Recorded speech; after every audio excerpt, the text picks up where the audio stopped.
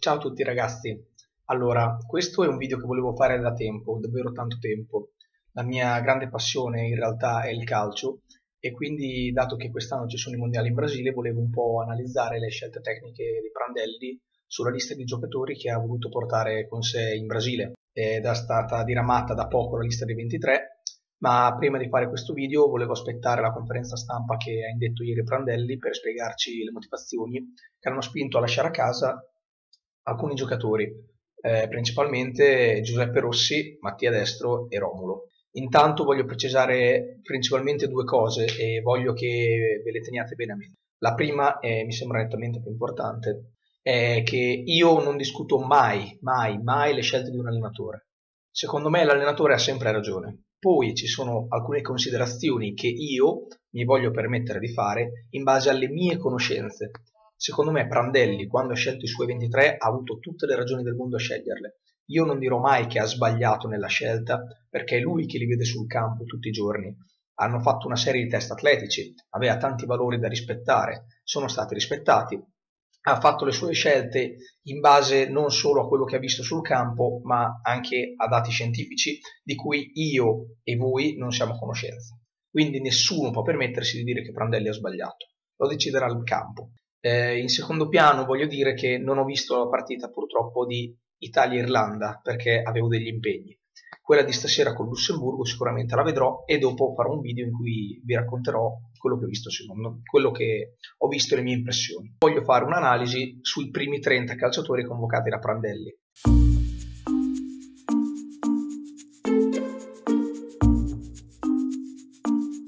Secondo me mancavano alcuni giocatori che hanno fatto un campionato al di sopra delle righe e spulciandoli sono principalmente tre se non quattro. Il primo è Morgan De Santis, secondo me ha fatto un campionato strepitoso, assurdo, però è anche giusto non convocarlo per ragioni anagrafiche e per il fatto che lui stesso ha dato l'addio alla nazionale italiana. Il secondo giocatore è... nasce difensore ma quest'anno ha giocato molto più avanzato che è Luca Antonelli secondo me ha fatto un grande, un grandissimo campionato e almeno nei 30 poteva essere inserito. Eh, notiamo tra l'altro che noi bassi e sinistra abbiamo una lacuna che andrebbe colmata, non sono tanti i terzini sinistri di qualità. Antonelli poteva essere una buona scelta, anche se ripeto, quest'anno ha svolto un ruolo prettamente più offensivo. Il terzo giocatore, secondo me, molto molto molto importante, è Alessandro Florenzi secondo me Florenzi nei 30 dovrebbe essere inserito a tutti, tutti, tutti i costi. È giovane, può ricoprire più ruoli e ha fatto un campionato che, ragazzi, diciamoci la verità, l'andata è stato strepitoso. Al ritorno ha avuto un piccolo calo, ma è anche fisiologico. Non poteva sostenere ritmi così per tutta la stagione. Però, secondo me, nei 30 Florenzi era da inserire a tutti i costi. Il quarto è Luca Toni. Ecco, eh, Toni ha fatto un campionato assurdo leggevo l'altro giorno su gazzetta, è stata stilata una, una speciale lista di giocatori più determinanti al fine di una squadra, ecco, Tony è secondo dietro Diego Costa dell'Atletico Madrid. Sappiamo tutti che stagione ha fatto l'Atletico. Sono magari d'accordo con Prandelli sul fatto di non portarlo ai mondiali, perché andiamo a giocare un campionato a temperature elevatissime. Tra l'altro, noi andiamo a giocare, mi sembra, nel punto più caldo del Brasile, tra AFA e età anagrafica del giocatore, forse è anche giusto non portarlo, ma almeno un premio e inserirlo nei 30, secondo me un posto glielo si poteva ricavare.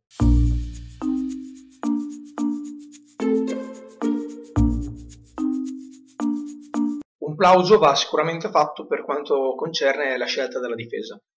A mio avviso l'unico cambio sensato poteva essere Ranocchia per Paletta, in quanto non considero Paletta all'altezza del difensore interista. Penso che il giovane italiano sia molto più forte dell'esperto italo-argentino. È noto che l'Italia continua ad avere un buco per quanto riguarda l'auto di sinistra e spero che Darmian possa, assieme a De Sciglio, coprire molto bene questa carenza che abbiamo. La scelta dei portieri non si discute, poteva trovare spazio Mirante o Scuffet, ma è giusta la convocazione di Perine.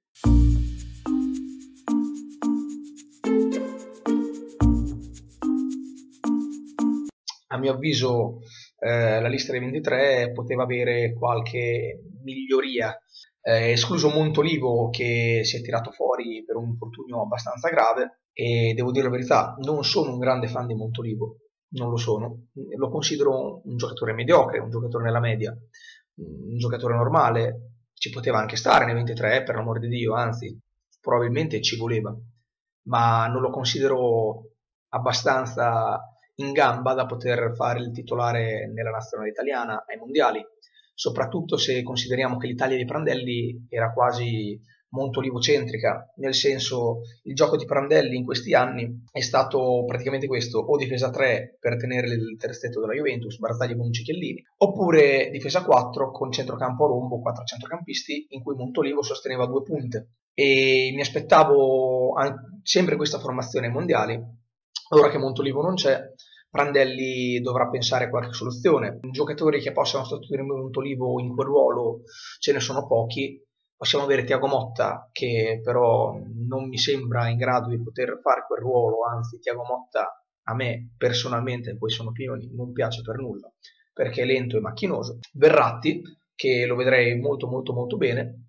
Marchisio anche lui è polivalente, può giocare dove volete centrocampo, e Candreva che probabilmente sarebbe il raccordo giusto tra centrocampo e attacco. Prandelli però ci ha sorpreso e Italia-Lussemburgo ha dato una formazione che vi dirò fra poco, che vede Balotelli unica punta con alle spalle Marchisio Candreva. Una formazione che devo dire a me stuzzica molto la fantasia. Per quanto riguarda le ultime scelte centrocampo, Prandelli si è dovuto arrangiare con quello che aveva, si è trovato quasi obbligato a convocare i centrocampisti che erano nei 30.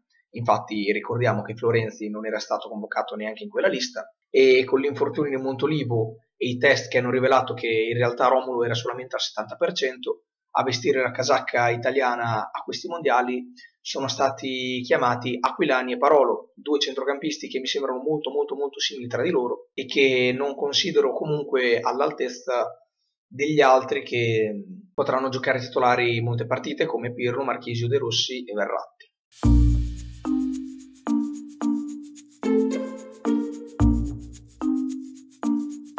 Posso anche capire che Prandelli decida di non portare Giuseppe Rossi. Giuseppe Rossi aveva un infortunio molto grave, tra l'altro l'anno scorso ne aveva affrontato uno di entità ancora più grave e quindi sapete un giocatore così recidivo il mondiale, un torneo che dura solamente un mese, sarebbe stato un rischio veramente grosso. Ma le parole di Prandelli non sembrano spiegare molto bene l'esclusione di Giuseppe Rossi. Vediamole. Io con Giuseppe Rossi mi sono incontrato a Coverciano il 7 alle 6 di pomeriggio, prima di dare i 30. Sono andato perché volevo parlare con lui, volevo avvisarlo che aveva fatto pochi minuti, i tempi che erano previsti per un recupero non sono stati attuati in campo. La finale Coppa Italia ha giocato pochi minuti, sono andato con l'intenzione di dire che non era nei 30.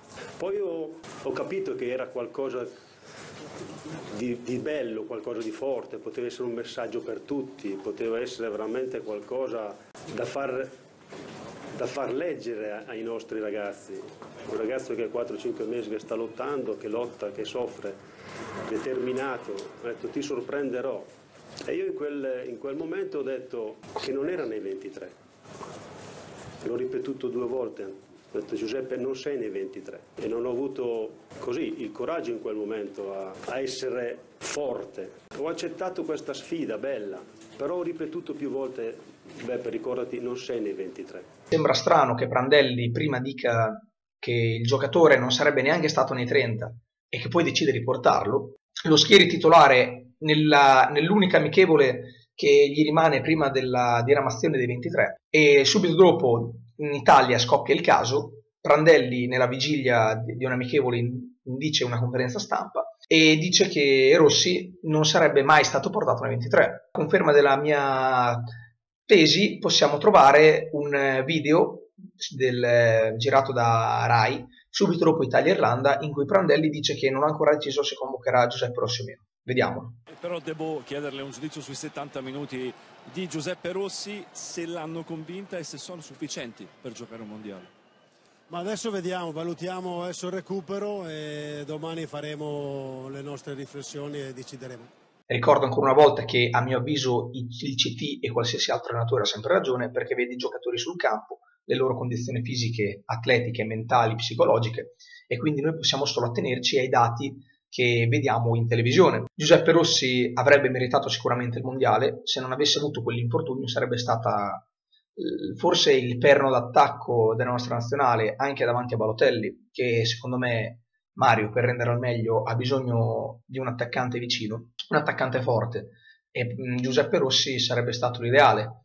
Infatti se vogliamo analizzare la miglior eh, competizione che Balotelli ha svolto con l'Italia è proprio l'Europeo 2012 in cui Cassano faceva quasi la prima punta e Balotelli aveva libertà di spaziare sul fronte d'attacco perché Cassano lo supportava molto bene nell'attacco, cosa che ha fatto Pazzini l'anno scorso nel Milan, quando Balotelli arrivò a gennaio e riuscì a portare il Milan in Champions eh, dopo un'impresa impossibile, oscurò il Sharawi, ovviamente, ogni tanto Pazzini gli dava una mano a sostenere l'attacco. Quest'anno non è stato possibile perché Balotelli ha sempre giocato la prima punta e io non lo reputo una prima punta lo reputo una seconda punta o quantomeno un esterno molto molto molto offensivo. Passiamo ora all'analisi di Mattia Destro, in quanto a mio avviso Destro è un giocatore dal quale non possiamo prescindere. Eh, nei 23 sarebbe stato opportuno portarlo in ogni caso. Vediamo come Prandelli ha deciso di commentare l'esclusione di Mattia Destro. Per quanto riguarda Mattia Destro, parlando e cercando di far capire che il campionato ha dato dei verdetti e non avrei voluto portare tre punte. Era il momento che stavamo decidendo anche su Giuseppe Rossi, quindi gli chiesi se eventualmente era disponibile a venire in Brasile a fare la riserva e lui mi ha detto ci penso.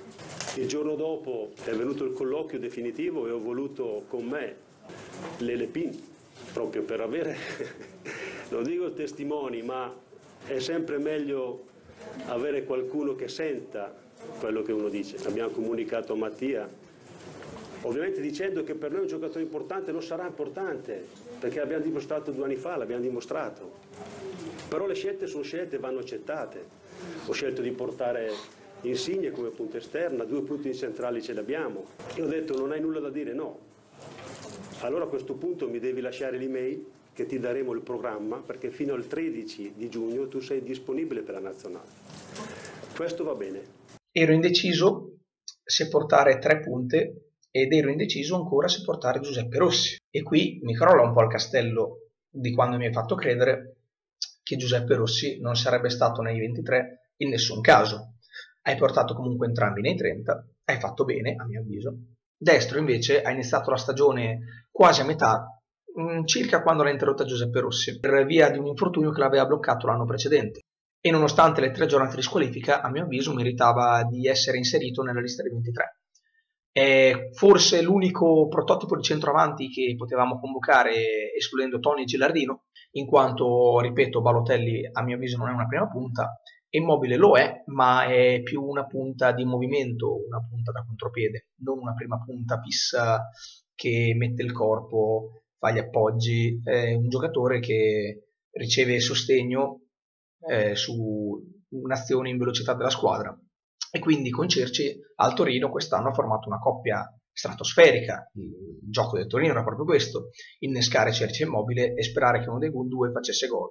Ed è stata una scelta tattica di Ventura che si è rivelata efficace. Insigne, io non l'avrei mai portato al mondiale. Non ha neanche fatto una stagione ad alti livelli, anzi tutt'altro, si è svegliato solamente nel finale. Durante tutto l'anno non ha giocato assolutamente bene. Molte volte è partito dalla panchina perché davanti si trovava gente come Mertens, come Calehon, che sono due giocatori molto molto forti e quindi Insigne un po' questa cosa l'ha pagata.